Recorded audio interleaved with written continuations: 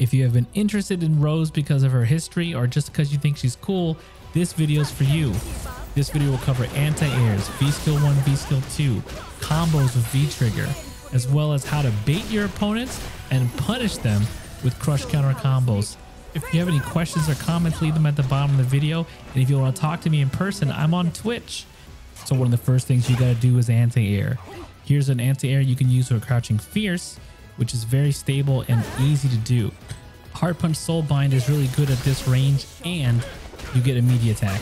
This meaty attack allows you to make some space, do a combo, and space out your opponent. Another good thing to notice is her target combo using stand light kick. Combo this into another soul bind and loop your opponent to death. And if they keep pressing buttons, keep doing soul bind. Soul bind isn't your thing, let me introduce you to V-Trigger 2. This is Soul Illusion. V-Trigger 2 Shadow Spawn. Essentially it doubles her attacks. You get some interesting juggles, interesting setups. So let me show you an easy one. Here you can see you could literally just hit hard kick into hard kick into fiercest into soul bind again. Now, if you're on the ground and you go into a light kick spiral, dash up and you'll be plus three, which means you can combo into another spiral. Do another stand medium into down medium kick and spiral again. If they back rise, an activation route is through stand fierce. Counter hit them and go through that easy combo I showed you earlier. Another way to activate V-Trigger 2 is from crouching medium kick. Activate, go into a slide, and do this sequence. It'll be really easy if you have critical art, and that's something you should learn at the very beginning when you're learning Rose. As you get further, you might want to do the uh, combo into a setup. Here's one I made up using Soul Punish. After canceling the Soul Punish, slide in and you'll be meaty for the ball to cover and you can finish with 2 meters. But what if you're trying to optimize? What if you want more stun? Well, this combo should help you. We change little things here. We're going to stand up, do a stand medium punch, combo into a bigger finisher, and get the stun all the way up. But now we want to pivot to Soul Fortune V Skill 1. Green, purple, white, and red do different things as you can see on the screen here. And if you want to switch between them, press down and medium punch and medium kick the switch.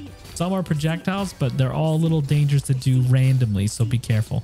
And if you are careful, look for a situation like this to activate, like EX Fireball. One of my favorites is Soul Satellite. It does 60 damage a ball, it has easy conversions. Eh, but the negative is the startup. If you get it off, you can pressure them like this, activate, and then slide in for a confirm. End your confirm with an EX Soul Spark and you can do V Skill 2 again.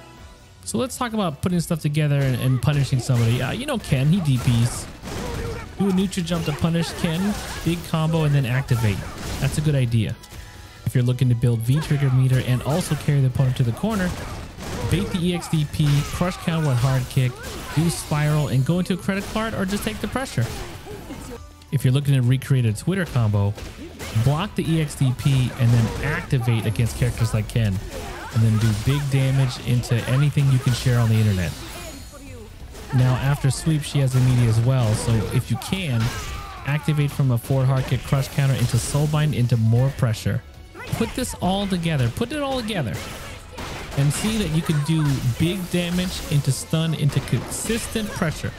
Take that pressure, throw a soul bind out there and try to get the big damage on using V-Trigger 2 and again post it to Twitter. I left this tool at the end. It's called Soul Punish. You can do three versions of it. It takes up three parts of the screen. Small, medium, large, light punch, medium punch, hard punch.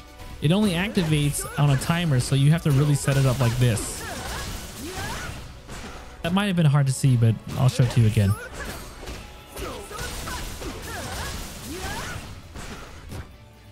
If you have V-Trigger 1 and you're looking for a combo, this one's actually in the trial mode. I like it.